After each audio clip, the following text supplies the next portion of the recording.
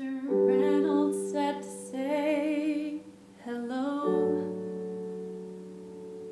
I started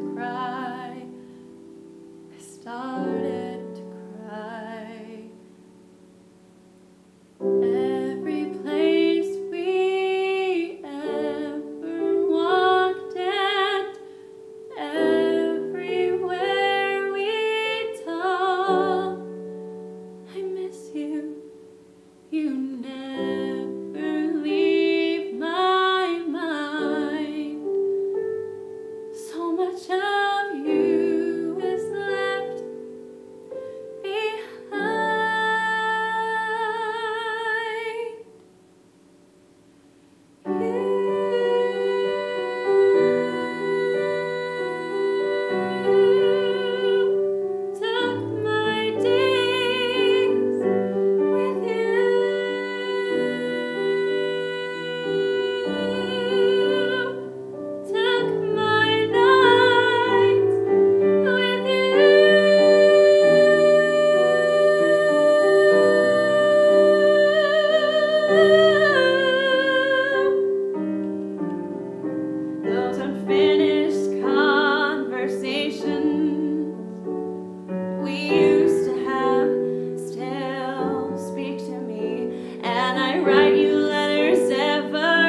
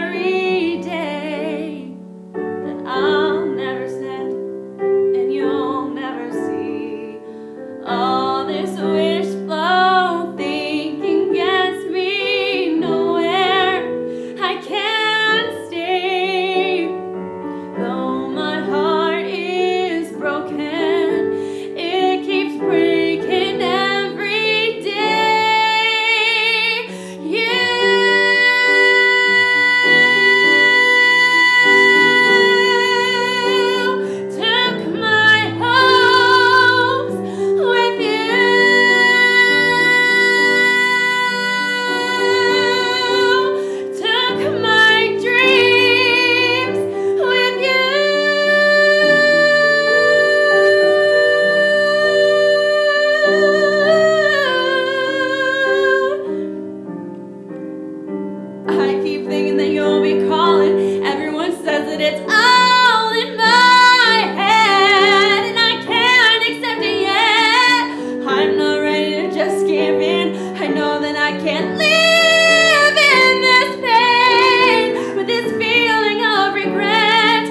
I can't comprehend this and pretend that.